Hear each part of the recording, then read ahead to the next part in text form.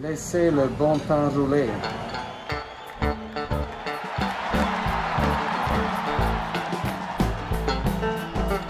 Non. Laissez Laissez le bon temps le bon temps rouler. rouler.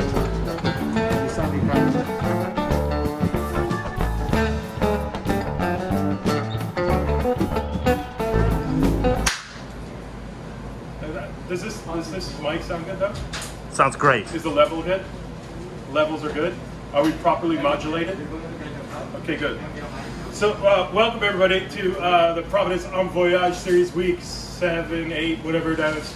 Um, and this week we're in uh, New Orleans, in the Big Easy, and we're celebrating some of the best dishes from that New Orleans has to offer. And of course, I firmly believe that New Orleans, along with New England, have probably the most distinct cuisine in the in the country. Like, there's no doubt about it.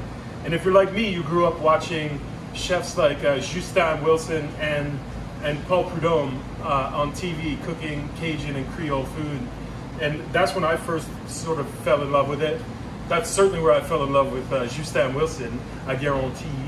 So we're starting off this week with uh, barbecue shrimp, which is which is probably you know the the one of the most famous dishes from New Orleans, and of course it's like a, it's a misnomer really because the shrimp are not barbecued. There's no grill involved. There's no smoke involved, and it comes from a place called Pascal's Manale, which is a little restaurant uh, there in New Orleans. And, uh, and and the story is that it, it came to be in about 1953 when a guy that may or may not have been a wise guy returning from Chicago had this great idea for a shrimp dish that he had when he was there in Chicago. And could they possibly replicate it at Pascal's? And they did. And uh, the, the dish became an immediate hit, and it's been on the menu ever since. So that's what almost 75 years. Uh, but it's you know beautiful fresh shrimp. They're uh, they should not be peeled, and ours aren't either. Um, these shrimp actually are coming from Beaufort, North Carolina. They're beautiful and they're fresh, and they're really like the only domestic source that I know of for fresh shrimp. So that's why I chose them. And the, the shrimp are ready to eat just like they are. All you need to do is take it home and warm it up. All right. So I'm just gonna go over there and put it on the fire. Okay, so like I said, the, the shrimp are already cooked. All you gotta do is take them and put them in uh, put them in a pan. If you want, again, you guys can do this in a microwave because this sauce is like full of. There's lots of butter. There's spices.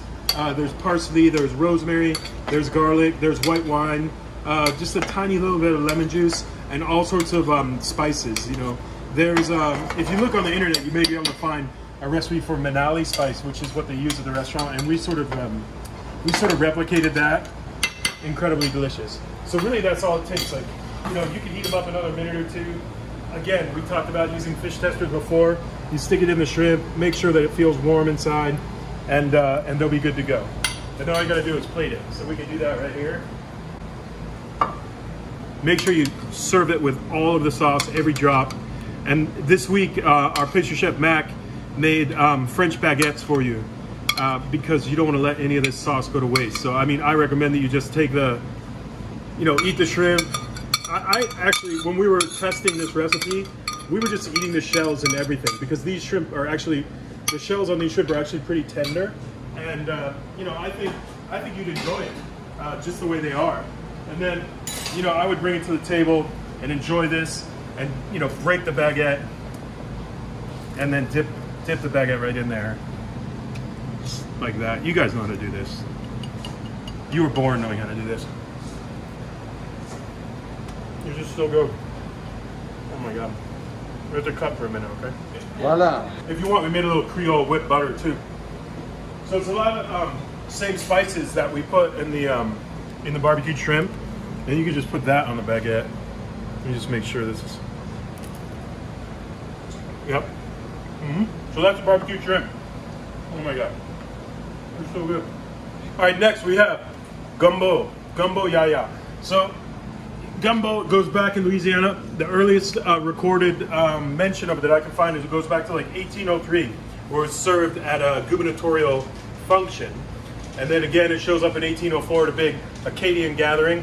And gumbo can be all sorts of things. Gumbo can be game, squirrel, rabbit, venison, whatever you whatever you're able to find down there. Duck, of course. Gumbo can be chicken. Gumbo can include shellfish. Gumbo should include some sort of sausage. And gumbo may either have okra, which is a version that we've done, or gumbo filet. So gumbo filet was introduced to gumbo by the Choctaw Nation. It's a powder of sassafras, and it's and it helps to sort of like thicken the gumbo. But the thought is gumbo filet was used when okra was out of season. And so cooks, you know, when okra was in season, they would use okra to thicken the gumbo along with a dark roux. And when okra wasn't in season, they would use gumbo filet. We chose to use okra because okra is in season, and we got beautiful okra from our friends at uh, Thao's, uh, Kong Thao's farm. And so we're using that today, along with chicken from Mary's farm, organic air dried chicken, fresh picked Dungeness crab, and uh, local oysters from Morro Bay, uh, grassy bar oysters, as a matter of fact. So, and then of course we have andouille sausage as well. So this is another one. All you gotta do, bring it over the stove, put it on the fire, get it hot, and have at it. You could also, if you want, just pop it in the microwave, but obviously change it out of this tin, put it in something plastic, throw it in the microwave for a minute or two, and enjoy. All right, hold on.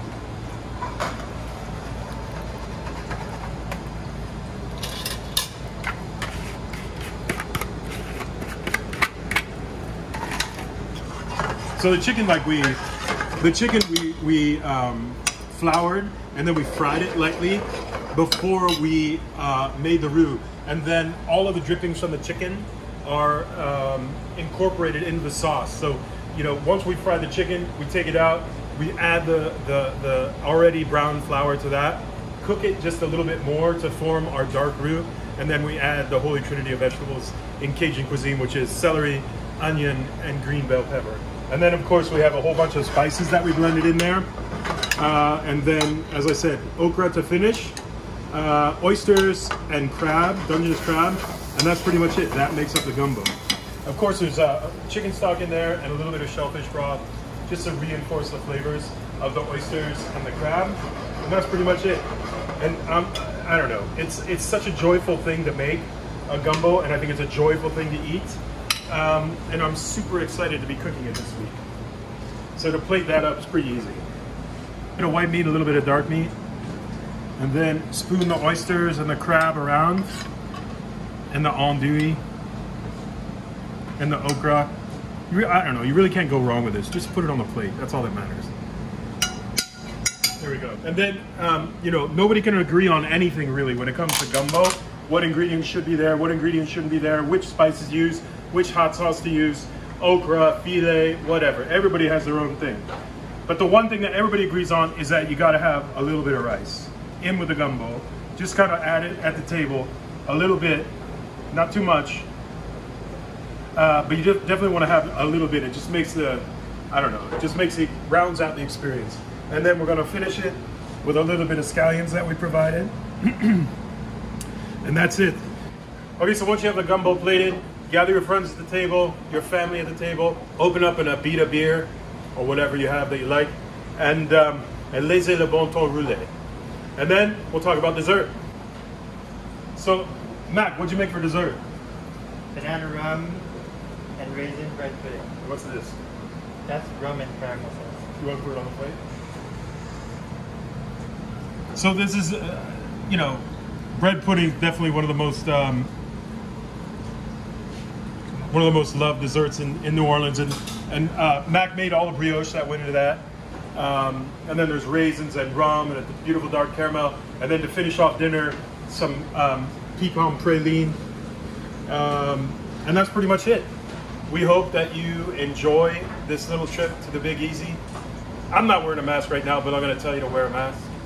And I'm also going to tell you to support Los Angeles's restaurants we lost so many great restaurants since this pandemic started, and we're losing more every day. So uh, we appreciate the fact that you're supporting Providence, but um, get out there and support other restaurants too. There are all sorts of restaurants in the city and cities all across this country right now that are struggling, and um, we appreciate your business. We appreciate your support, and we hope to be there for you. Uh, to take care of you in our dining rooms at some point soon when this is all over. So once again, wear a mask, enjoy yourself until next week. Uh, thanks a lot, Los Angeles. We'll see you soon. All right, let's give this here gumbo a try. See if that don't taste good. Mm.